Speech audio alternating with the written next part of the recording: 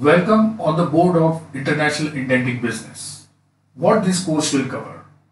This course will cover why indenting, what is indenting, who is indenter, why import happens, why export happens, what products you see around for imports or exports, how to choose your kitty of products, customers and suppliers, how to do practical secondary and primary market research and survey in quicker way, how to screen the product or shortlist the products kitty and your, your suppliers and the customers. What are the indents? Why and how to take these indents means contract. What are these contracts? What is the indenting process? And what are the steps involved in this indenting process?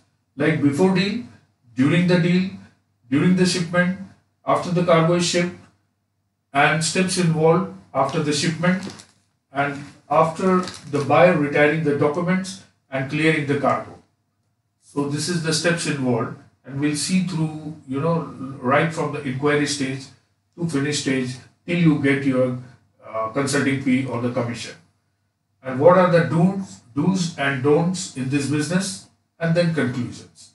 So this will be the expanse of our course and this course will cover these kind of points and then we'll try to make it up and go over or why indenting into the next episode coming. Thank you very much.